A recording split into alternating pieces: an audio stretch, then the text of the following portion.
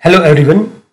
In this video lecture, we will learn how can we use operational amplifier as inverting and non-inverting amplifiers.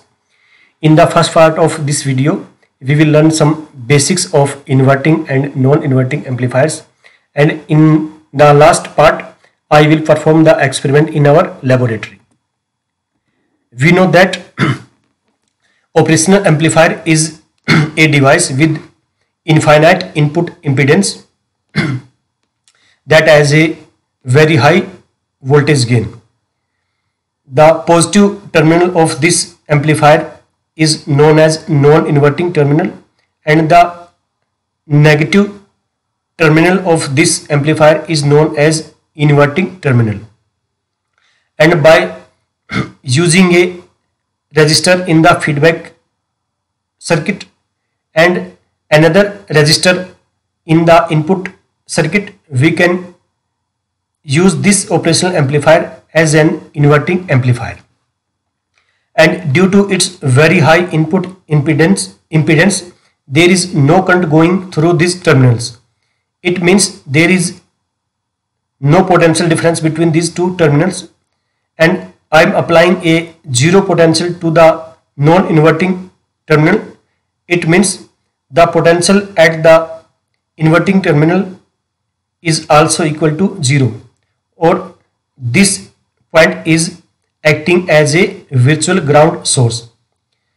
Since no current is going into the amplifier, the current going through this input resistance resistor is equal to the current going through this RF resistor. So we can say that I in equal to IF. And what is I in? I in equal to V in minus 0 by R in which is equal to V in by R in and IF equal to 0 minus V out by RF which is equal to minus V out by RF. So therefore V in by R in equal to minus V out by RF. From here we can get V out which is equal to minus RF by R in into V in. So from here we can see that due to this minus sign there is a 180 degree phase difference between output and input signal and the amplification depends upon the values of RF and Rin.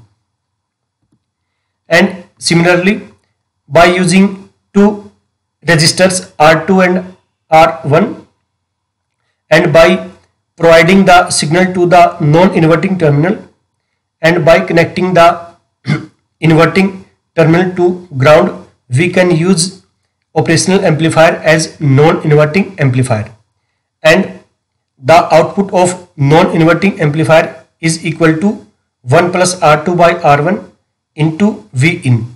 Here we can see that there is no phase difference between output and input and Again, the amplification depends upon the values of R2 and R1.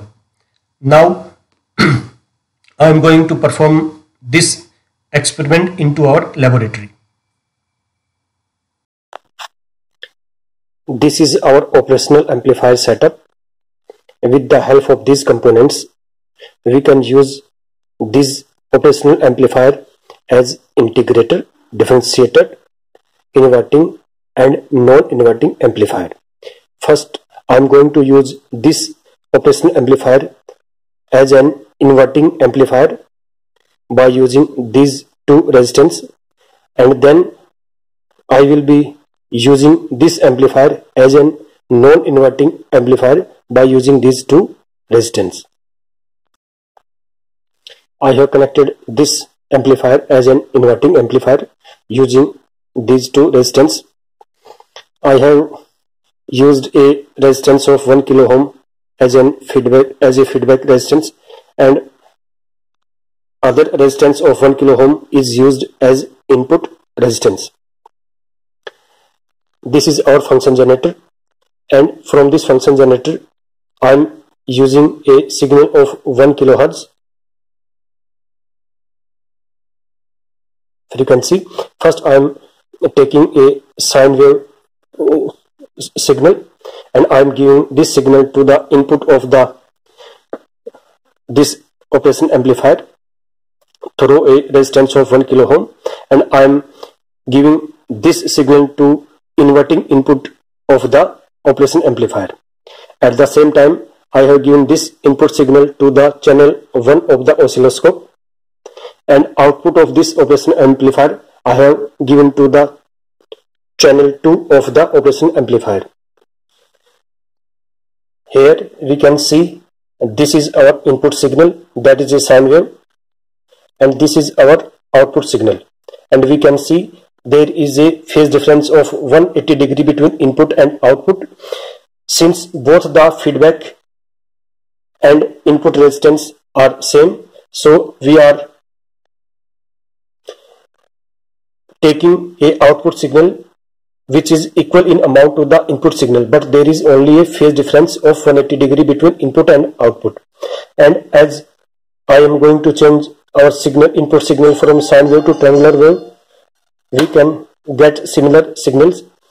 Here both the input and output signals have the same amount of amplitude but there is a phase difference of 180 degree between these two input and output signals and when we change the feedback resistance from 1 kilo ohm to 500 ohm we can see there is a decrease in the amplitude of the output signal but there is no difference in the phase difference. And when we change the feedback resistance as 10 kilo ohm we can see our output signal is multiplied by a factor of 10 so by changing the feedback resistance or input resistance we can amplify our input signal by using a inverting amplifier and here there is a phase difference of 180 degree between input and output signal. Here I have converted this operational amplifier in a non-inverting amplifier by connecting the input signal to the non-inverting terminal of the operational amplifier. And first I am giving a sine wave signal to the input of this non-inverting amplifier. So we can see that a sine wave input signal is amplified by this operational amplifier. And we can see here there is no phase difference between input and output signal. And as we change the input signal from sine wave to triangular wave we can see a similar magnification by this amplifier and again there is no phase difference between input and output signal so by using these two resistance this operational amplifier can be converted into a inverting and in a non-inverting amplifier. I hope this video will be helpful for you. Thank you